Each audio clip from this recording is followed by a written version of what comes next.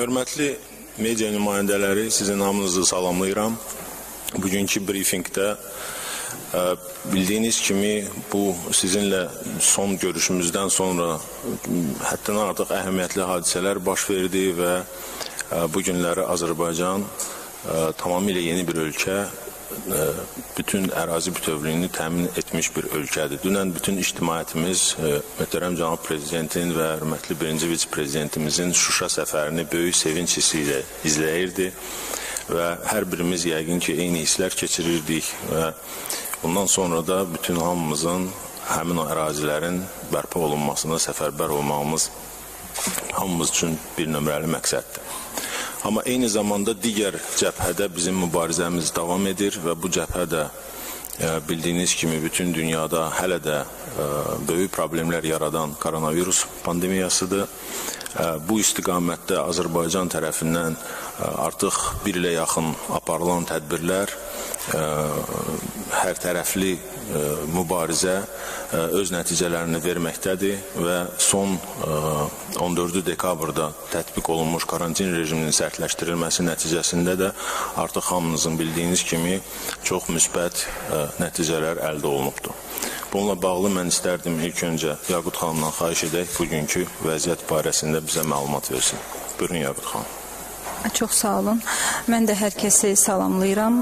Bizə bu gün qələbə hissini yaşadan bizim şəhidlərimizin ruhuna Allah rəhmət eləsin deyirəm. Bəli, bizim mübarizəmiz davam edir. Mən bəzi statistik məlumatları sadəcə sizə xatırlatmaq istəyirəm. Bu gün dünyada artıq koronavirusla yoluxma sayları 94 milyonu keçmişdir və ölüm sayları 2 milyondan çoxdur. Dünənki gün ərzində dünya üzrə yeni yeni yoluxmaların sayı 706 min olmuşdur. Azərbaycana gəldikdə isə siz hər biriniz bu statistikanı bilirəm ki, izləyirsiniz, amma yenə də xatırlatmaq istərdim ki, 15 yanvar tarixində Azərbaycanda yeni yoluxma sayı 349 olmuşdur və buna baxmayaraq yenə də həyatını itirən vətəndaşlarımız var və e, vəfat edənlərin sayı 12 olmuşdur. Əsas diqqət etdiyimiz rəqəmlərdən biri də aktiv xəstə saylarıdır. Aktiv xəstə sayımız 9793-ə düşmüşdür. Ümumi olaraq bu günə qədər bir il ərzində demək olar ki, ölkəmizdə rəsmi e-təbib sisteminə düşmüş pozitiv, yəni xəstəliyə yoluxmuş şəxslərin sayı 226549 olmuşdur. Mən bəzi müqayisəvi rəqəmlərə toxunmaq istəyirəm. Yəni bu sərtləşdirilmiş karantin rejimindən əvvəl və bugünkü gündə olan rəqəmlərimizə toxunmaq istəyirəm. Məsələn, həftəlik olaraq yeni yoluxma saylarına biz baxsaq, baxsaq, 14 dekabr 20 dekabr arası həftəmizdə bizim 26214 yeni yoluxmamız olmuşdur. Bu gün isə 4 yanvar 10 yanvar ə, arası, yəni bitmiş həftə ərzində cəmi 4386 yeni yoluxmamız olmuşdur. Bununla müqayisədə sağalanların sayına baxsaq, əgər ə, dekabrın ortalarında belə deyək 27861 ə, nəfər belə deyək sağalırdısa həftəlik, indi bu rəqəm 13000 2838-dir. Rəqəm az olsa da biz bu rəqəmi nə ilə müqayisə etməliyik? Yeni yoluxanlarla. Yeni yoluxanlarla sağalanların arasında 3-4 dəfə e, fərq var. Yəni sağalanların sayı yeni yoluxanların sayından 3-4 dəfə çoxdur. Bu da bizim üçün, bizim vurğuladığımız bəzi məsələlər üçün çox önəmlidir. Yəni bir hər zaman nəyin üstündə dururuq? Çarpayı fondumuz və reanimasiyada olan yataqlarımızın sayı.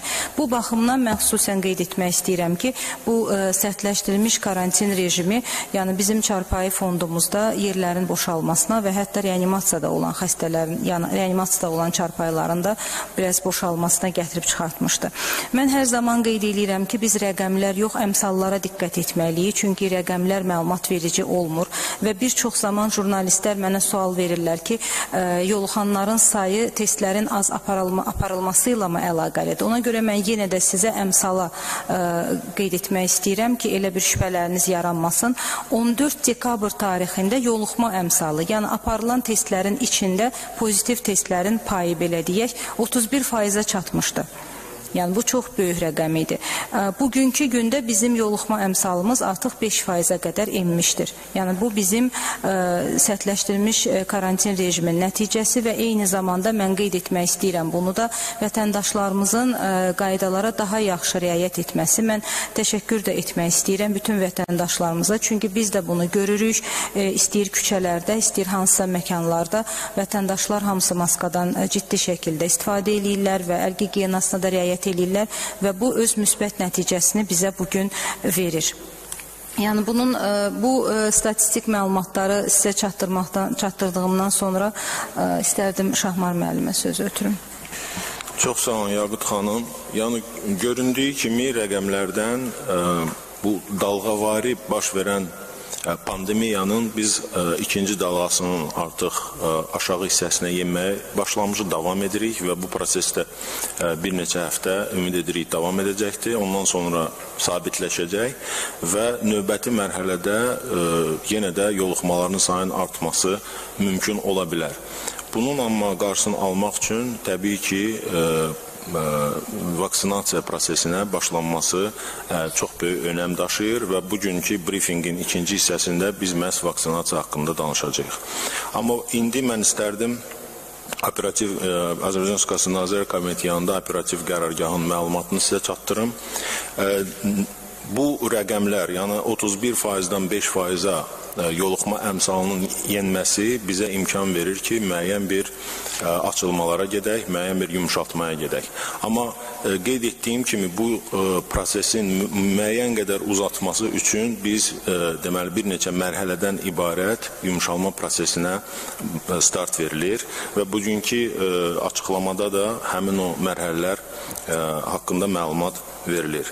Beləliklə 18 yanvar tarixindən Azərbaycan Respublikasında xüsusi sərtləşdirilmiş ə, ərazilərdə, yəni harada SMS və icazə qov portalı vasitəsilə məhdudiyyətlər mövcud idi, həmin məhdudiyyətlər aradan qaldırılır.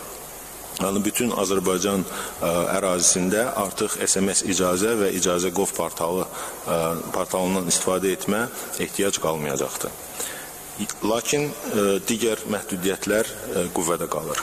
25 yanvardan isə ə, e, ticarət obyektlərinin fəaliyyətinə icazə verilir. Ə, e, burada təbii ki, istisnalar ə, e, var və bu ə, xüsusi iri ə, ticarət mərkəzləri, mollardır və ictimai yaşa obyektləridir. Onlara da ə, hələlik ə, məhdudiyyət saxlanılır. Eyni zamanda 25 yanvardan bərbərxanaların, gözəllik salonlarının fəaliyyəti və kosmetik xidmətlərin fəaliyyəti fəaliyyətinə icazə veriləcəkdir. Digər yumşalma muzey və sərgi zallarının fəaliyyətinə icazə veriləcək və 25 yanvardan başlayaraq şəhərlər arası və rayonlar arası hərəkətə icazə veriləcəkdir. Və nəhayət fevralın 1-dən etibarən ölkə ərazisində ictimai yaşayış obyektlərin, restoranların, kafelerin, çay evlərin ə, fəaliyyəti saat 6-dan saat 00-a dək bərpa olunur, olunacaqdır. Beləliklə 3 mərhələdən ibarət açıqlamalar açılmalara biz gedəcəyik və nəticə etibarilə bu bizə müəyyən bir vaxt tutmağa imkan yaradacaq və həmin vaxt ərzində də biz vaksinasiyamızı həyata keçmə, keçirməyə başlayacağıq. Vaksinasiya haqqında deməli bizim xüsusi bir təqdimatımız var və mən qeyd etmək istərdim ki, vaksinasiyanı biz gələn həftə 18 yanvardan başlamağa qərar verilib və ilk mərhələdə tibb müəssisələrinin işçiləri bu vaksinasiyaya cəlb olunacaqdır. Bu barədə məlumat vermək üçün mən sözü verirəm Teymur Musayevə. Azərbaycan Respublikası Səhiyyə Nazirliyinin Səhiyyənin təşkili şöbəsinin müdirinə. Buyurun Teymur. Çox sağ olun Şahmar müəllim. Hörmətli brifinq iştirakçıları, hörmətli media nümayəndələri. Diqqətiniz üçün təqdim olunan prezentasiyada Azərbaycan Respublikasının COVID-19 xəstəliyi əleyhinə 2021-2022-ci illər üçün vaksinasiya strategiyasının mühüm məqamları açıqlanacaqdır. Bəlli olduğu kimi pandemiya davam etdiyi müddətdə bir çox sərt karantin tədbirləri və müalicə metodları tətbiq edilsə belə, güclü mübarizə vasitələri hələ də hazır deyil. Ölkənin və dünyanın pandemiya ilə mübarizədə uğur qazana bilməsi üçün əhalinin təxminən 60%-ında virusa qarşı immunitet formalaşmalıdır. Bu göstəricinin bir hissəsi artıq yoluxub sağalanan şəxslərdə, digər hissəsi isə peyvənd olunmuş şəxslərdə formalaşır. Bu şəraitdə epidemioloji vəziyyətə nəzarət edilib bitmək üçün vasitələr aşağıdakılardır. Yumşaldılmış karantin tədbirləri və əhalinin hədəf qruplarının vaksinasiyası. Strategiyanın qanunvericilik bazasını yolxucu xəstəliklər immunoprofilaktika haqqında Azərbaycan Respublikasının qanunu təşkil edir. İmmunoprofilaktika sahəsində aid olan dövlət siyasətinin icrası müəyyən edilmiş prinsiplər əsasında həyata keçirilir. Profilaktik vaksin yolxucu xəstəliklərə qarşı spesifik immunitetin yaradılması üçün insan orqanizminə tibbi immunoloji preparatların yedirilməsidir. Strategiyanın məqsədi hazırda geniş yayılmış COVID-19 xəstəliyin vaksinasiya ilə qarşısına alınmasına, bununla xəstələnmə və ölüm səviyyəsinin aşağı inməsinə nail olmaqdır. Strategiya çərçivəsində məqsəd ilk mərhələdə Azərbaycan Respublikasının əhalisinin sosial və tibbi cəhətdən yüksək risk qruplarının, növbəti mərhələdə isə əhalinin digər qruplarının vaksinasiyasını həyata keçirilməkdir. Strategiya bir neçə mühüm prinsipə əsaslanır və bu prinsipləri bir-bir mən siz üçün sadalayacağım ki, e, cəmiyyətə də çatdırılan məlumat aydın və şəffaf olsun. İlk prinsip könüllülük prinsipidir. Mövcud olan epidemik vəziyyəti və infeksiyanın yayılma təhlükəsini dərk edərək, vətəndaşın özünün və digərlərinin sağlamlığının qorunması məqsədi ilə vaksinasiyada könüllü olaraq iştirak etmə qərarının verməsidir. İkinci prinsip təhlükəsizlik prinsipidir.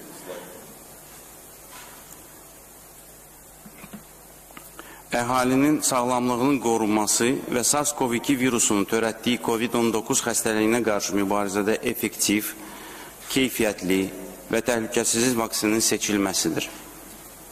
Şəffaflıq prinsipi Vaksinasiya prosesinin maliyyələşdirilməsi və icrası barədə məlumatlar əhaliyə şəffaf və əlçatan olmasıdır. Ədalətlilik Pandemiya ilə mübarizədə vaksinasiya hər bir fərd üçün risk qruplarına prioritetlik verilməklə onun gəlir səviyyəsindən, yaşayış yerindən və digər fərqi xüsusiyyətlərindən asılı olmayaraq ədalətli şəkildə aparılmasıdır. Məsuliyyət vaksinasiya cəlb olunmuş bütün maraqlı tərəflərin fəaliyyətləri birbaşa əhalinin sağlamlığı və cəmiyyətin inamına təsir etdiyinə görə vaksinasiya proqramının məsuliyyətli və vaxtında icra edilməsidir.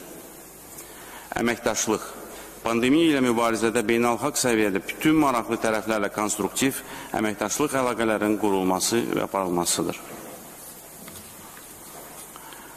Strategiyanın əsas hədəfi epidemioloji vəziyyətin stabilləşdirilməsi, xəstələnmə və ölümlə nəticələnən halların azadılmasıdır. Hədəfə nail olmaq üçün əhalinin sosial və tibbi cəhətdən yüksək risk qrupları maksimal dərəcədə vaksinasiya ilə əhatə olunmalıdır.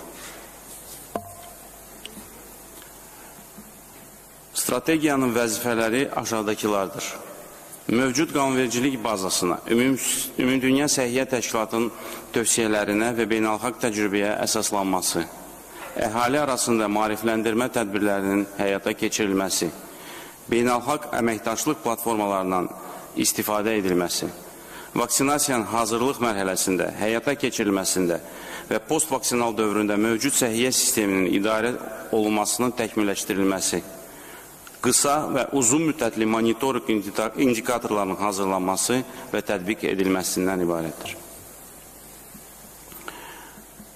İndi ən vacib slaydlardan biridir. Çox xahiş edirəm bunu diqqətlə nəzərinizdə çatdırmaq istəyirəm ki, strategiyanın hədəf qrupları qeyd etdiyimiz kimi sosial və tibbi cəhətdən yüksək risk qruplarıdır. Sosial cəhətdən yüksək risk qruplarına səhiyyə işçiləri, o cümlədən həkim, orta və kiçik tibb işçiləri, tibb müəssisələrində çalışan texniki heyət, hüquq mühafizə orqanlarının əməkdaşları, hərbi qulluqçular, təhsil və sosial sektorda çalışanlar, sosial müəssisələrdə daimi yaşayanlar, asan xidmət və dost mərkəzləri, ictimai nəqliyyat sektorunun, telekommunikasiya operatorları və provayderların və poç sahəsində birbaşa əhali ilə təmasda olan işçilərin və bank sektorda da çalışan və əhali ilə birbaşa təmasda olan hissəsidir.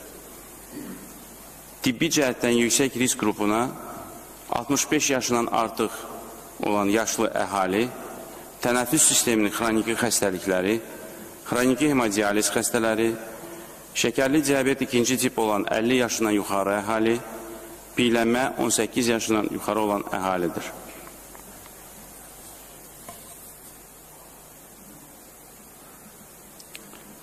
Strategiyanın həyata keçirilməsi və icrası üzrə əsas fəaliyyət istiqamətləri həm səhiyyə sisteminin, həm də digər aidiyyatı dövlət qurumlarının hazırlığı nəzərə alınaraq, onların reallaşdırılması üçün keçiriləcək tədbirləri icraya məsul dövlət orqanları, eləcə də icra müddətlərini müəyyən edir.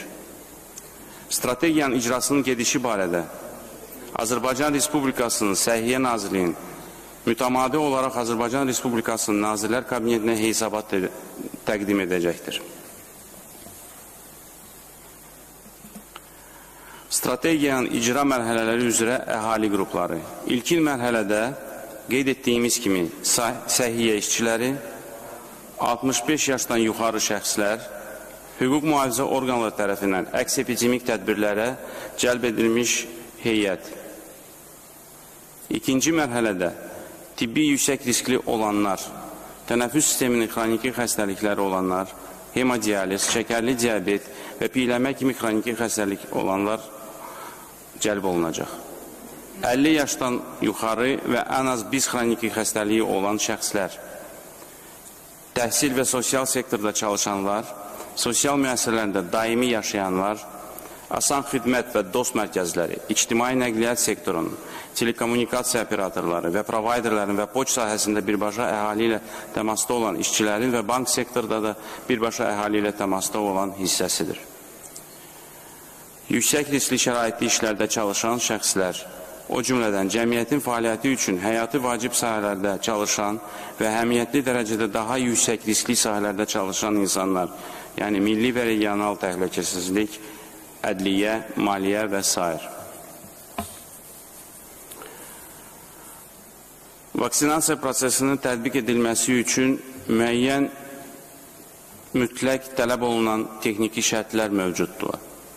Bunlardan ən əsası soyuq zəncir şəraitidir. Bu da vaksinlərin ölkəyə gətirilməsi, saxlanması və məntəqələrə çatdırılması üçün tələb olunan xüsusi infrastrukturun qurulmasıdır. İkinci, məlumat bazası. COVID-19 vaksinasiyası üzrə geniş məqsədli vahid məlumat bazasının hazırlanması və digər məlumat bazaları ilə inteqrasiya edilməsi, toplanan bütün, bütün məlumatların təhlil edilməsidir. Vaksinasiya məntəqələrinin şəraiti, məntəqələrin tələb olunan ləvazimatla təmin olunması, heyətin təlimləndirilməsi və digər hazırlıq tədbirlərinin həyata keçirilməsindən ibarətdir. Və sonuncu vacib bir e, texniki tələb də qeydiyyata aiddir. Bu da peyvənd olunmuş şəxslərin cari qeydiyyatı və mü müşahidəsi üçün müəyyən edilmiş sənədləşmə ehtiyaclarının qarşılanmasıdır. Vaksinlərin ölkə üzrə saxlanma məntəqələri demək olar ki, bütün rayonlarda mövcuddur. Infra infrastruktur vaksinasiya prosesi üçün tam hazır vəziyyətdədir və böyük qürur hissi ilə qeyd etmək istəyirik ki, artıq Şuşa şəhərində də belə bir məntəqə qurulmaqdadır və fəaliyyət göstərəcək. Strategiyanın həyata keçirilməsində mühüm rol oynayan monitorinq və qiymətləndirmə sistemi də mövcuddur. Strategiyanın vəzifələrinin icrasının qiymətləndirilməsi üçün proses və nəticə indikatorları müəyyən edilməlidir.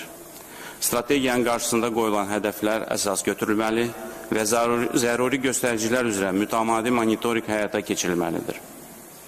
Monitorinq və qiymətləndirmə sistemi strategiyanın icrasının qiymətləndirilməsi, problemlərin aşkar edilməsi, aradan qaldırılması və müvafiq məlumatlar ilə təmin edilməlidir. Vaksinasiya strategiyasının maliyyələşdirilməsi, vaksinlərin alınması üçün Koronavirusla mübarizə dəstək fondunda toplanmış vəsaitlər hesabına həyata keçirilir. Vaksinasiyaya dair digər tədbirlərin görülməsi isə müvafiq illər üzrə Azərbaycan Respublikasının dövlət büdcəsi hesabına və digər maliyyə mənbələrindən.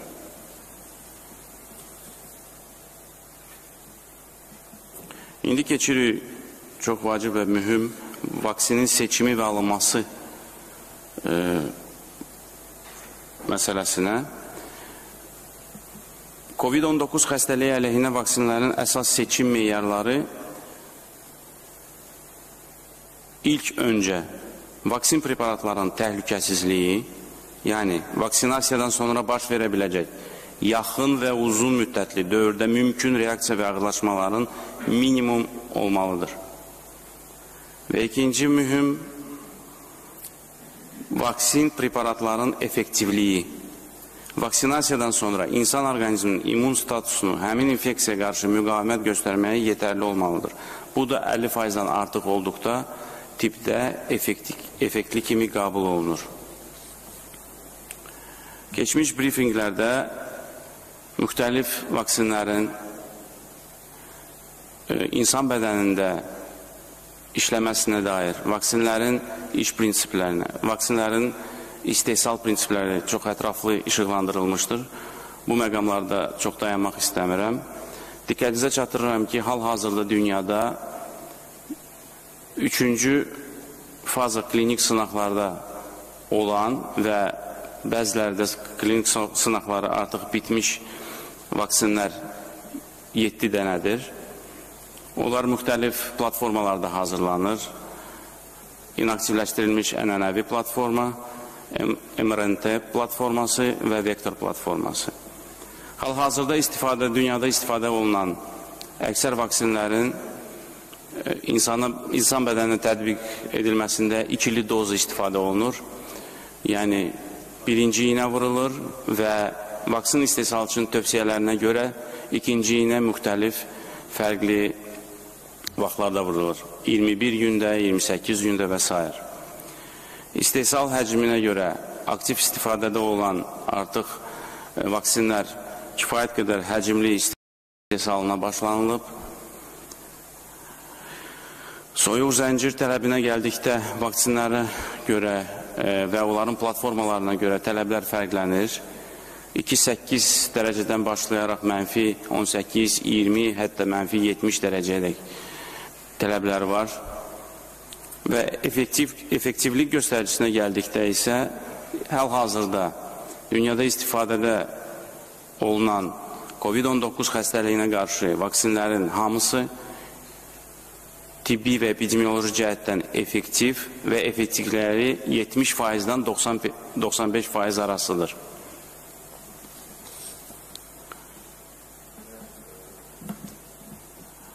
COVID-19 xəstəliyi əleyhinə vaksinlərin alınması imkanları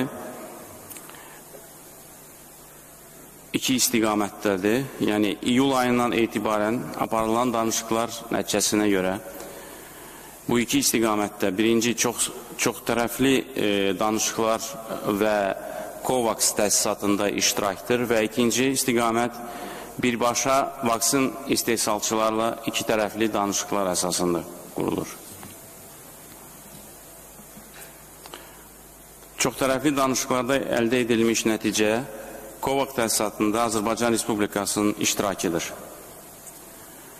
Bu iştirakın üstünlükləri nədən ibarətdir? İlk öncə dünyada vaksinasiya üzrə Ümumdünya Səhiyyə Təşkilatı, UNICEF və Gavi kimi təşkilatların dəstəyi, bir neçə aparıcı vaksin namizədinin iştirak etməsi, bütün dünya ölkələri arasında əhalinin azı 20 faizini vaksinlərlə təminatı, vaksin seçimi, çatdırılması və tətbiqində böyük bir dəstək və vaksinlərə qarşı kollektiv risk bölgüsü və birgə tədbirlər. Bu da birbaşa qlobal əməkdaşlığın təzahürüdür. Özünü maliyyələşdirən ölkə kimi Azərbaycan Kovuksa qoşulmuş və ilk ölkələrdən biridir. 2021-ci il ərzində Ümumdünya Səhiyyə Təşkilatı tərəfindən tövsiyə olunan vaksinlərdən 2 milyon doza bizim ölkəmizə gətirəcəkdir. İki tərəfli danışıqlarda isə əldə edilmiş nəticə Sinovac şirkətinin vaksinin Azərbaycana gətirilməsidir. Sinovac şirkətinin seçilmə səbəblərinin üzərində daha ətraflı dayanacam. İlk öncə Sinovac şirkətinin istehsal etdiyi Coronavac vaksini ənənəvi, etibarlı və sınanmış inaktiv platformada hazırlanır. Yüksək qoruculuq və uğurlu sınaq nəticələri, saxlanma şəraiti, rahat çatırma və tətbiq şərtləri, əlverişli soyuq zəncir, ölkəmizdə illər boyu mövcud olan infrastruktur bu vaksinlər üçün çox rahat imkan verir ki, həmin vaksinləri ölkənin ən ucqar belə bir nöqtəsinə çatdırıb insanlarda tətbiq edilsin. Türkiyədə aparılmış kliniki sınaqlar və satın alma dəstəyi, istehsal imkanları, gözləmə müddəti və satış şərtləri. Sifariş olunmuş 4 milyon doza vaksin öncədə Tür Türkiyə gətiriləcək, Türkiyədə laboratoriyalarda standartlara uyğunluğu yoxlanılacaq, qablaşdırılacaq və bir neçə partiya ilə Azərbaycana gətiriləcəkdir.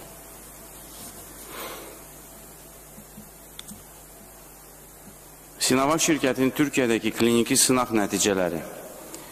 Bildiyiniz kimi sentyabr ayının 3-cü fazı kliniki sınaqlar başlamışdır və yaxın günlərdə 3-cü fazı klinik sınaqlar bitmək üzrədir və bəzi məqamlar həmin sınaqların nəticələri artıq ictimaiyyətə çatdırılıb. Xüsusilə qeyd etmək lazımdır ki, tədqiqatda indiyədək iştirak edənlərdən cəmi 29 nəfər virusa yoluxmuşdur. Onlardan 26 nəfər plasebo, yəni vurulan mayədə aktiv maddə olmayan, yəni vaksin olmayan mayə vurulmuşdur və 3 nəfər isə həqiqi vaksin vurulmuş şəxslər olmuşdular. Beləliklə, vaksin 91,25 faizdə effektivdir. Plasebo vurulanlardan 6 nəfər xəstəliyi çox ağır keçirmişdir. Vaksin vurulsa da belə virusa yoluxan 3 nəfər isə risk qrupunda olan həkimlər idi. Bu üç nəfərdən iki nəfər tam simptomsuz və yalnız biri xəstəliyi çox yüngül və zökam simptomu ilə keçirmişdir. Beləliklə bəyan etmək olar ki, Sinovac şirkətinin istehsal etdiyi Coronavac vaksin qoruyucudur. Vaksin vurulan könüllərin yalnız 2,5 faizində çox yüngül baş ağrısı və digər 2,5 faizində isə yorğunluq hissi kimi yan təsirləri olmuşdur. Bu vaksin təhlükəsizdir. Türkiyə Sinovac şirkətindən 50 milyon doza vaksin sifariş etmişdir.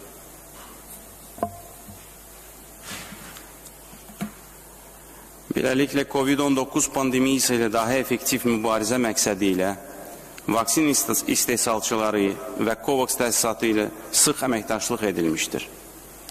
COVID-19 xəstəliyi əleyhinə vaksinasiya strategiyası hazırlanmışdır. Sinovac şirkətinin Coronavac vaksini seçilmiş və sifariş edilmişdir. Əhalinin hədəf qruplarını vaksinasiyada aktiv iştirak etməyə çağırırıq. Qeyd etdiyimiz əhalinin istər e, tibbi, istər sosial cəhətdən yüksək risk qruplarına daxil olan hər bir insanı həmin vaksinasiya kampaniyasına aktiv iştirak etməyə çağırıram. Bu qərarı verdikdə ilk öncə öz sağlamlığınız və həyatınız, yaxınlarınız, əzizləriniz, ailə üzvlərinin sağlamlıq və həyatınızı düşünüb öz qərarınızı verin.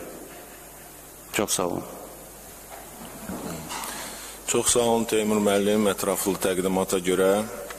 Mən bir şey qeyd etmək istərdim ki, bu vaksinasiya məsələsi daim ə, e, ölkə rəhbərliyinin, xüsusilə birinci vitse-prezident hörmətli Mehriban xanımın diqqəti ə, e, və onun dəstəyi hesabına Azərbaycan bu günləri dünyada ilk vaksinasiya edən ölkələr sırasındadır. Yəni bilirsiniz ki, vaksinasiya prosesi heç də bütün ölkələrdə başlamayıb, yalnız qabaqcıl ölkələrdə bu proses başlayıb və Azərbaycan da bu ölkələrin sırasındadır.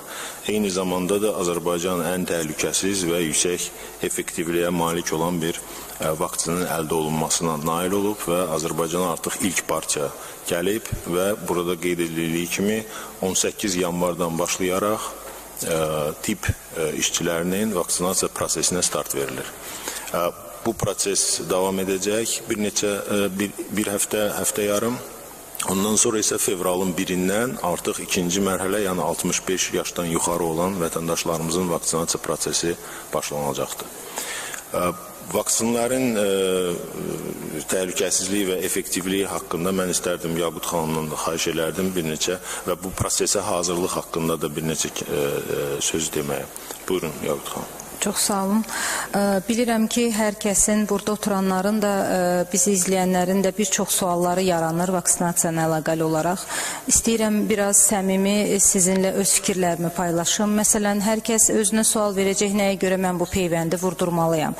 Biz hər birimiz iyun ayında hələ birinci xəstəliyin artmasını yaşayanda düşünürdük ki, açılı, açılışa gedəndən sonra artıq hamı xəstələndi, yoluxdu, hər kəsin immuniteti yarandı və bu bitdi. Amma biz biz gəldik və oktyabr-noyabr aylarında gördük ki, bu heç də belə deyil. Mən bugün sizə ölkəmizdə bugünə qədər e, qeydiyyata düşmüş müsbət e, şəxslərin rəqəmini elə belə demədim. Yəni bu sadəcə 226 minin üstündə olan bir rəqəmdir. E, düşünsək ki, bir bu qədər də və hətta bundan bir iki qədər də çox insan test vermədən və yaxud xəstəliyinin mərhələsindən aslı olmayaraq, e, aslı olaraq testi neqativ çıxıb, amma həqiqətən koronavirus xəstəliyini keçirdi edib. Yəni bu rəqəmi nə qədər artırsaq belə bu rəqəm gəlib 1 milyona çata bilər təxmini desək, çatdırsaq. Bununla belə biz hər birimiz başa düşməliyik ki, bizim ölkəmizdə hələ də 7, 8, 9 milyon insan var ki, onlar bu xəstəliklə hələ rastlaşmayıblar, yəni virusa hələ yoluxmayıblar. Bunların içində risk qrupuna aid olan vətəndaşlarımız varsa, onlar mütləq olaraq vaksinasiya olunmalıdırlar. Vaksinasiya bizə nə üçün lazımdır? Şəxsən bizə həkimlərə. Bizə vaksinasiya onun üçün lazımdır ki, risk qrupunda olan, ağır keçirdən, ağırlaşıb xəstəxanaya yatan və oradan intensiv terapiya, reanimasiya düşən xəstələrin sayını azaldaq. Çünki bir ilk gündən demişik ki, bəli, 70-80% e, əhali bu xəstəliyi ayaq üstə keçirə bilər. Amma ağırlaşan əhali e, xəstəxanaya qospitalizasiya ehtiyacı olan insanların sayı yenə də yetəri qədər çox olur və bu hər dəfə bizim sosial həyatımızı bloklayır və biz yenidən yenidən qapanlara qapanmalara getməyə məcbur oluruq. Bax bunun qarşısını almaq üçün hər kəs həmkarım da qeyd etdiyi kimi öz məsuliyyətini dərk eləməlidir. Biz yenə də strategiyanı sizə açıqlayanda gördünüz orada biz uşaqları qeyd etmədik, gəncləri qeyd etmədik. Çünki bizim hədəflərimiz bunlar deyil. Hədəflərimiz yaşlılarımızdır, xroniki xəstəlikləri olanlardır və bu artıq bir il ərzində biz gördüyümüz kimlər ağır keçirdir xəstəliyi, kimlər daha çox riskdədir sosial olaraq. Biz tibb işçilərimizi itirdik, biz çox həkimlərimizi itirdik və biz ona görə də strategiyanı həm dünya təcrübəsinin üzərində, həm də öz təcrübəmizin üzərində qurmağa çalışdıq. Hər kəs vaksinasiyaya e, çox e, ciddi yanaşmalıdır. İkinci bir sual. Mən vaksini vurdurandan sonra nə baş verir? Çox adamlar məndən soruşurlar. Vaksin vurandan sonra mən yaxınlarım üçün təhlükəli olaram, olmaram və yaxud vaksini vurduran kimi o vaksin qoruyurmu? Bunlar çox vacib suallardır. Vaksin vurduran insan yaxınları üçün təhlükəli ola bilməz. Bu heç cür mümkün deyil. Amma bir şeyi hər kəs bilməlidir. Bunu gənc analar da bəlkə yaxşı bilir. Çünki vaksinlərlə daha çox təmasda olurlar. Vaksin vuran kimi insanı qorumur. Bu yeni bir şey deyil. Bu sadəcə Coronavaka və ya Sinovakın istehsal etdiyi vaksinə aid deyil. Bu ümumi vaksinasiya prinsipidir. Vaksinasiya olunur və bir müddətdən sonra preparata qarşı anticismlər, qoruyucu maddələr əmələ gəlməyə başlayır. Bu vaksinasiya, yəni aktiv immunizasiyanın prinsipidir. Bu həmişə belə olub. Mən şəxsən uzun illərdir vaksinlərlə işləmişəm və sizin heç adlarını bəlkə də eşitmədiyiniz xəstəliklərə qarşı xaricdə işləyən və oxuyan vətəndaşlara vaksinasiya aparmışam və hər zaman onlara bir şey təkrarlamışam. Biletdə aldığınız, yəni uçuşunuza bir gün qalmışdan gəlib peyvənd vurdurmağın xeyri yoxdur. Çünki o sizi qorumayacaq. Peyvəndi bir ay öncədən, iki ay öncədən, ən az dörd həftə öncədən vurdurmaq lazımdır. Bunu mən sizə niyə görə başa salıram? Çünki bu peyvəndi vurandan sonra biz yenə də özümüzü qorumağa davam etməliyik. Və hər biriniz bilirsiniz ki, artıq e, bu peyvənd iki dozadan ibarətdir qorunmaya ciddi şəkildə davam olmalıdır. Çünki nə sizin, nə ölkəmizin çəkdiyi bu əziyyəti biz itirməyək. Birinci dozanı vurdurub sonra yoluxan insan üçün o birinci dozanın düzdür. Belə bir məlumat var ki, birinci dozadan sonra yoluxanlar xəstəliyi yüngül keçirdirlər. Yəni bəlli bir qoruyuculuğu olur peyvəndin. Amma tam biz istədiyimiz nəticəni ala, almaya bilərik. Ona görə gəlin hamımız bu məsələyə də çox diqqətli yanaşaq. Biz öz tərəfimizdən tibb işçiləri, e, həm təbibdə, həm Səhiyyə Nazirliyində bu prosesə çox ciddi hazırlaşırıq. Bütün məntəqələrimizdə hazırlıq işləri gedir. Elektron qeydiyyat sistemi e-təbib ə, sisteminin üzərindən aparılacaq. Ölkəmizdə vurulan bölgəsindən aslı olmayaraq hər bir peyvənd mütləq olaraq qeydiyyat sisteminə düşəcək. Onun vurduran şəxsin haqqında məlumatlar, vurulduğu məntəqəsi, peyvəndin seriya nömrəsi və s. mütləq olaraq qeydiyyat aparılacaq. Bu bizim tərəfdən ə, yəni görülən işlərdir. Ə, sərtləşdirilmiş karantin rejiminin yumuşaltmasına baxmayaraq hər kəsdən çox xahiş eləyirəm, müraciət eləyirəm.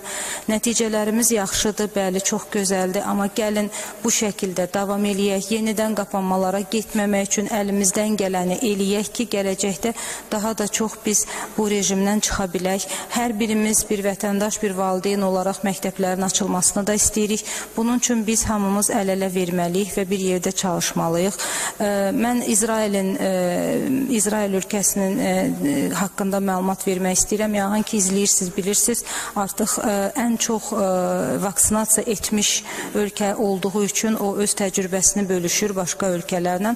Amma buna baxmayaraq hal-hazırda orada üçüncü ən sərt karantin rejimi tətbiq olunur.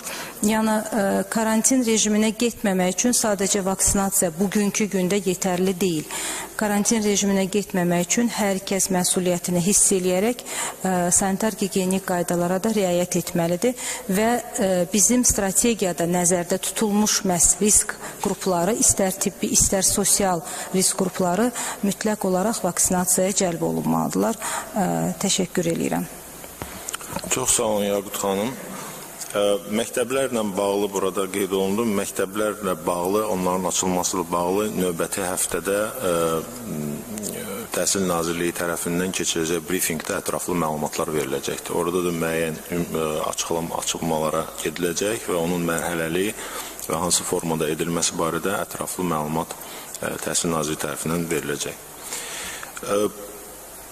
Bugünə olan bir bu məlumatları da sizə çatdırmaq istəyirdik. Bir daha mən də qoşuluram həmkarlarımın sözlərinə ki, karantin qaydalarına riayət olunması mütləqdir, labüddür. Yalnız onun hesabına biz insanlar, insan həyatlarını qoruya bilirik. Bizdə ölənlərin sayı digər ölkələrə nisbətən aşağıdır və bu da ə, yalnız və yalnız hər birimiz tərəfindən karantin rejiminin qaydalarına riayət etməkdən ibarətdir. Qeyd olunduğu kimi pandemiyanın bitməsi vaksinasiyadan, yəni peyvəndləşmədən başqa baş verməyəcək. Yəni biz istənilən halda peyvəndləşmədə aktiv iştirak etməliyik hamımız. Əgər biz istəyirik mümkün qədər qısa müddətdə normal həyat tərzinə qayıdaq. Və təbii ki, yəqin ki, hamımız bunu istəyirik. İstədiyimizə görə də bu iki istiqamətdə, yəni karantin qaydalarına riayət etmək və peyvəndləşməyə cəlb olunmaq mütləq şərtlərdir. Peyvəndləşmənin özünün rahat şəraitdə keçirilməsini təmin etmək üçün qeyd etdiyim kimi biz mərhələli açılmalara gedəcəyik və bu proses müəyyən bir dövr üzrə ə, gedəcək. Ə, bu da mütləqdir ki, ə, biz Azərbaycanda effektiv və əhatəli vaksinasiya prosesini təmin edək. Ə, mən də ümid edirəm ki, ə, Azərbaycan vətəndaşları hamı hamımız bu prosesə qoşulacağıq, hamımız karantin rejiminin qaydalarına riayət edəcəyik və bu seçimi, yəni peyvəndləşmə seçimini edəcəyik və peyvəndləşməyə cəlb olunacaq. Bununla da pandemiyaya son qoyulacaq və bu son cəbhədə də Azərbaycan qalib çıxacaqdır. Və bu ümidlə mən hamınıza minnətdarlığımı bildirirəm. Çox sağ olun.